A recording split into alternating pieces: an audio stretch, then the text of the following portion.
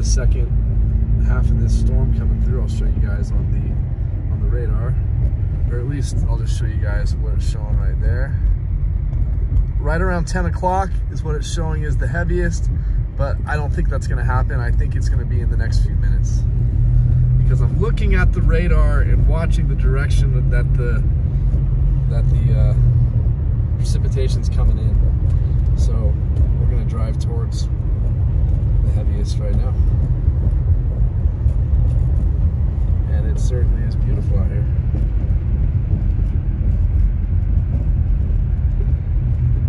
I love that zoomed in view it's just hard to keep it focused when it's zoomed in like that. But we're gonna go drive by Snow Summit because they're the only ski resort still open up here now. From what I heard, I heard that they're all closed now. Snow Valley and Bear Mountain, but only Snow Summit is the Lone Ranger.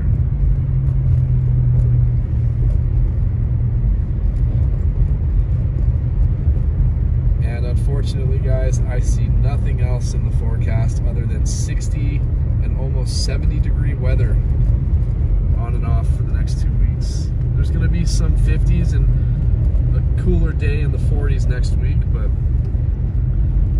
yeah, this is a. Uh, made it through another season, guys. We made it through another season. I have survived another winter without an accident, which is crazy. That's my ninth season have not been in any accidents. I shouldn't have even said that. I should not have even said that. So, the jinx gods, please let me take that back. I shouldn't have said that. Those of you who are saying, but didn't you get in an accident last year? Yeah, I did. It was in the middle of summertime.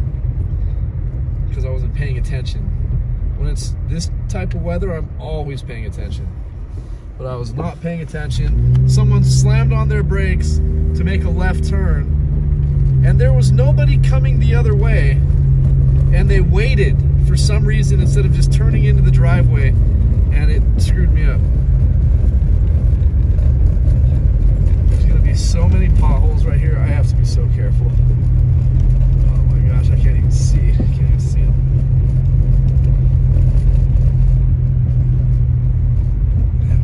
here at beautiful Snow Summit. They have all the lights off on the hill. That's irritating. That is irritating, man.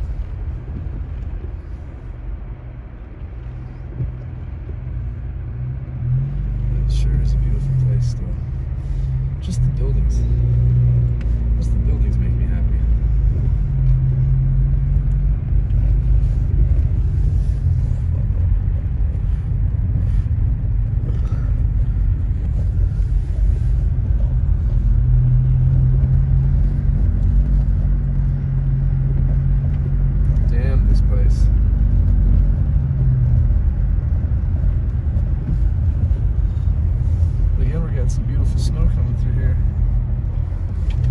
Definitely the heaviest part of this storm, I'll tell you what.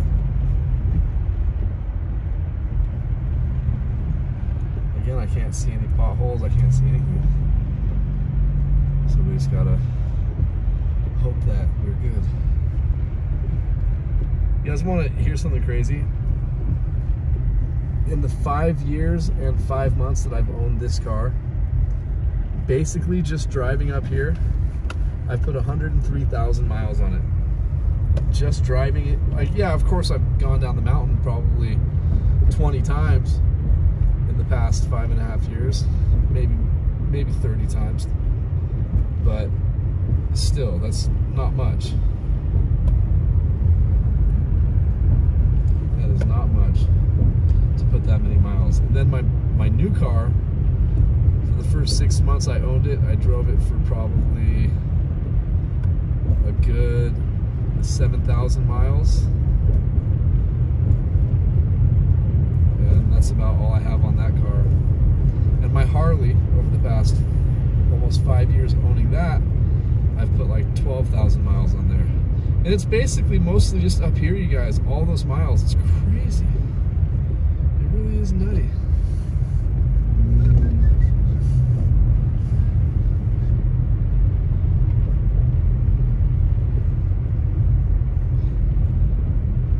So yeah, guys, this isn't going to be the longest update video. I did want to kind of go through the village because of how it's snowing right now, but uh, all right.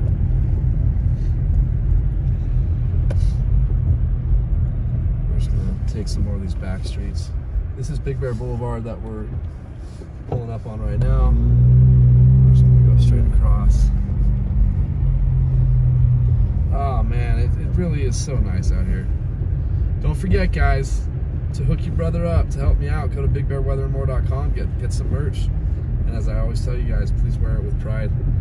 We worked very hard to get this channel going. This is a channel that started with passion and a lot of depression. And uh, of course, this channel will never get huge because it's so niche. It's about weather, which yeah, you can get big channels doing doing doing weather stuff, but we're primarily in this little town. That's all we do. It's just the weather in this small town, and no one really cares. At least most people don't, you know. So that's uh, that's a big reason this channel will will never get too big. I'm sure maybe in like 10 years we could hit like 100,000 subscribers because of our consistency.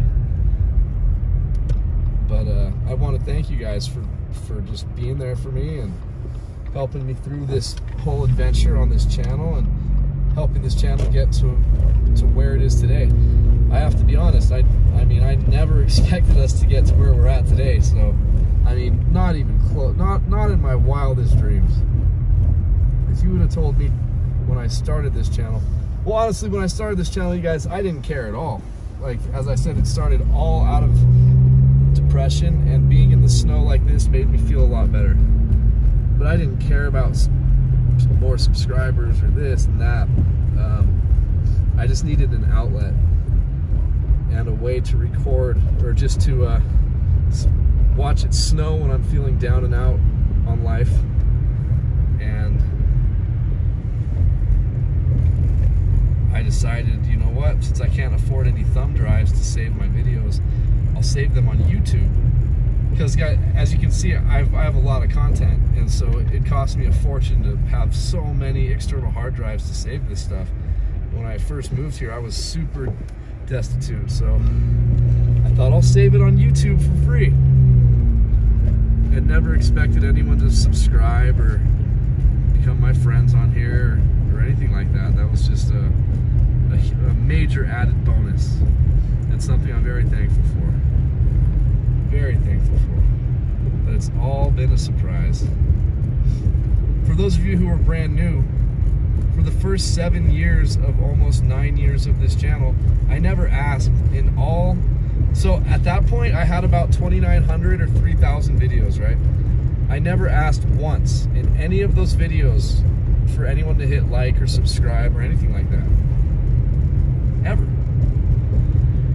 And when I got married, I changed my tune because I thought, you know what, I do have to do everything I possibly can to uh, give us, my wife and myself, the best opportunity to, uh, you know, succeed the best that we can. So because of her, that's the only reason I've started asking you guys to hit that like and subscribe button, help the channel out, help it grow a bit, because it'll in in inevitably help the wife and myself.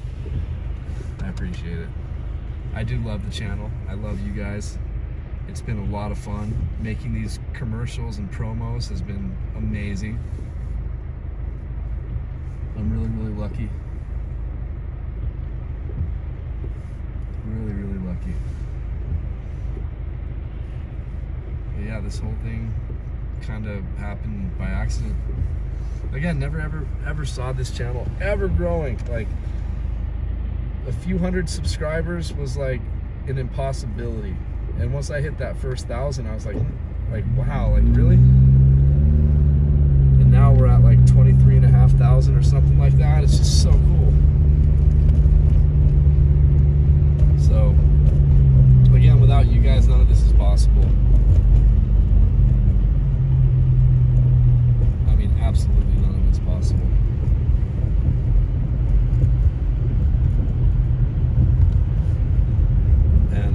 Promise you one thing as tiring as this gets sometimes during the winter seasons, because it does get very, very exhausting.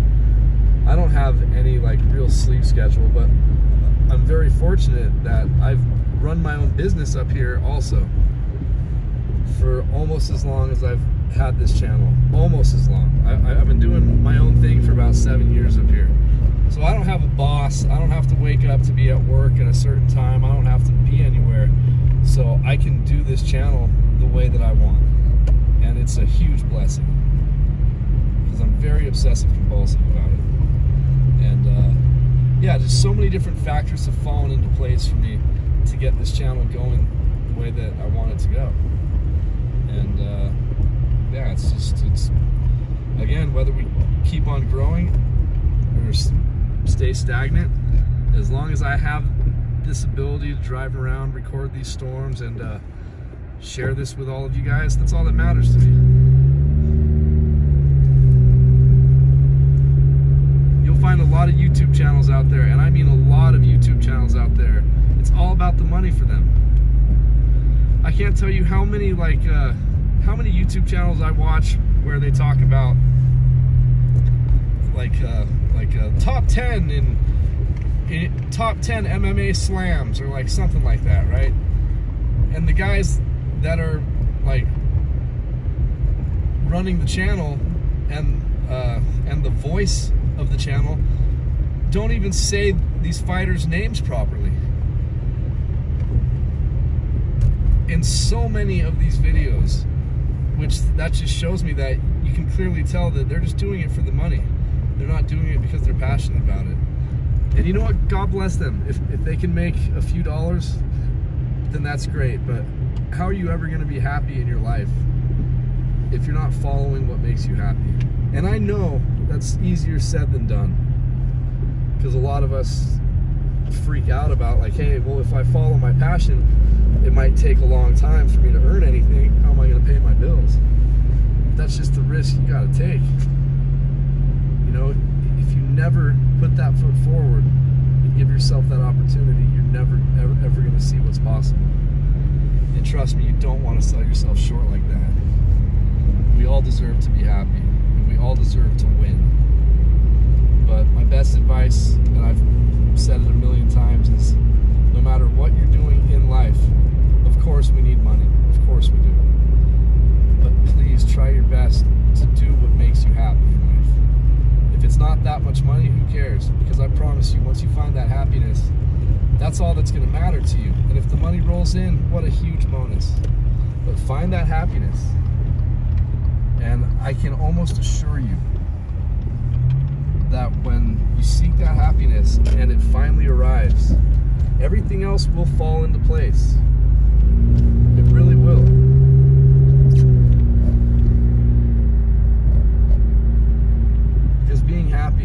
finding your happiness shouldn't and doesn't cost anything. And maintaining it shouldn't either. And that's what differentiates this channel from a lot of other channels out there is there's just so much fake stuff out there. People just chasing that dollar. And again, I'm not denigrating people like that at all. I totally get it. I really do. I understand. I have sympathy for those people and I can understand why they're trying to do things like that. But ultimately, you're never gonna be happy. And if you have to wake up every day and be like, oh man, I have to make another video because I have to make more content, and oh, oh blah blah blah, that's a miserable life. You don't want that. I get to wake up every day excited that I get to do what I do for my regular job and excited about getting to do this channel. I don't have those efforts, if you know what I mean. Cases of the efforts every day, like a lot of people do. I used to. I used to say, oh, F it. I have to go to work today. That's horrible. I should just call in sick or I wish I won the lottery so I don't have to deal with any of this. But once I changed my mentality, sought happiness before seeking that dollar. Yeah, it was a little bit rough at first, and frankly, I didn't have much options, but it's ended up working out for me. And different opportunities keep on presenting themselves, and I keep on trying to take advantage of those as well you know, when those opportunities present themselves, you need to open that door and kick that door down fast and be like, what's up? I'm here. Let's do it. Because again, you all deserve to succeed, and success begins with your happiness. It sounds cliche, it sounds stupid. I know. Again, I know a lot of people say, like, well, how's happiness going to pay my bills? I get it the same thing one way for so many years and it's not working for you, what do you have to lose? Try something else. Give yourself a shot, man. You all all deserve it. And it's not like I'm rolling in the dough. it's far from it. But I, I get my bills paid. I can help my mom a little bit. Um, my wife doesn't have to pay any bills and yeah, we're not left with much, if anything. But it's that feeling of happiness and accomplishment, knowing that I've done all this without anyone to fall back on. I've worked my butt off to get to this point, and nobody can take that away from you. Absolutely nobody can take that away from you. Your hard work, your efforts, your integrity that you put into everything. That's the definition of you.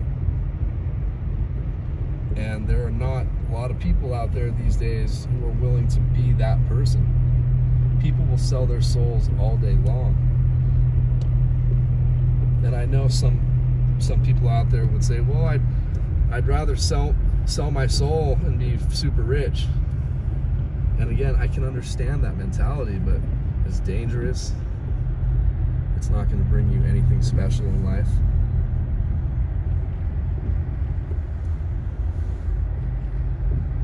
Mean, as I said, I haven't had a boss in, in over seven years. My last boss was my boss at Bear Mountain. I was a cook at Bear Mountain. I worked for a company called Levy. And I loved it. I loved it. But after working there, um, I started to realize one day, like, hey, you know what, I might not have much, but I might be able to live my life the way that I want to live it. The only thing I'm missing, you guys, is although I could do vacations every once in a while, like most people do anyway, I can't because of my business and because of this channel. Summertime's my only opportunity to leave anywhere, and I only leave for two or three days once in a while in the summer to go see my my elderly father in Florida. I don't get to go like to Disney World or um, the Caribbean and take my wife there and do things like like that. Which you know I've worked hard enough to earn it to go enjoy stuff like that once in a while, but I can't because of my responsibilities. But when you think about it, it's a really great problem to have in life, you guys. That's a that's the that's a damn good problem to have right there. And that's the problem we all want. We don't want that problem of, of like I got to rob Peter to pay Paul. How am I going to pay this next bill? You know, I still go through that once in a while, but it's few and far between these days. And I know my efforts, just like your efforts, will pay off. As I said, it's been seven years. I haven't been able to take any vacation that I like want to take just for me and my wife or or something like that. But again, the people who succeed out there, they work really hard for a very, very long time before those types of opportunities begin to present themselves. So just hang in there, keep working your asses off. It is worth it. That feeling you get when you accomplish something great or when you're providing, there's no greater feeling there's no greater feeling. That's why I feel so bad for for um, people who still live off their parents. And I did that until my late 20s, and and then my mom and dad lost everything. I was forced to become a man. I, I had nothing to fall back on anymore. I couldn't keep a job if I tried because I was so spoiled. And my mom and dad have nothing, absolutely nothing. I mean, I mean, guys, absolutely nothing. And my parents had a lot too. So it's it's I'm very sad for them because I want them to not stress about money ever, but it's it's a big stress every month, and they're both 82 and 92 years old. The worst time of their life to have to really worry about these finances. Like my mom had to get rid of her house, and she lives with my older brother because she can't afford to pay rent. Like it's a really tough, tough situation. But again, that was the greatest thing that ever happened to me was my parents losing everything because I'd still be a, a, just total loser. Loser, mooch, manipulator. So I share all this with you guys because I love you guys. And I know that my experience and my strength and my hope can rub off on other people. And even if it touches just one person's life, that's all that matters. Because I don't want to see people feeling the way that I used to feel. It's a miserable place to be. It's very depressing. Very depressing. And yeah, like, yeah, things have changed dramatically for me, but it's still far from perfect.